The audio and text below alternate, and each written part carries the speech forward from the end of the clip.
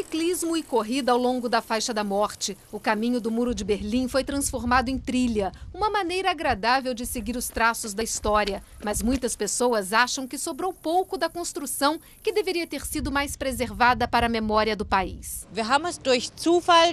Descobrimos esta oportunidade vendo pela TV. Caso contrário, estaríamos nos perguntando onde encontrar vestígios do muro suchen, wo finden wir denn noch Reste von der Mauer? No Memorial do Muro, no centro de Berlim, as pessoas podem ver e tocar em 3 quilômetros da construção que foi mantida. É apenas uma pequena fração dos 155 quilômetros de concreto que um dia dividiu a cidade.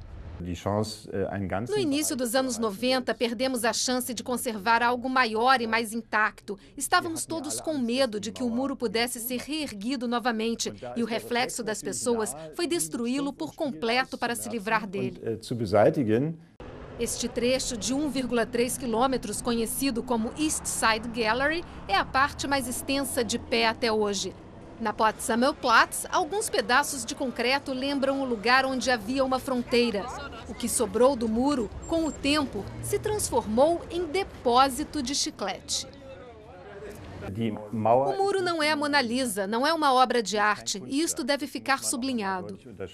Estima-se que 600 pessoas morreram tentando fugir da Alemanha Oriental. Ninguém lamenta o fim do muro tão odiado, mas muitos temem que a destruição total pode prejudicar a memória de um período triste da história.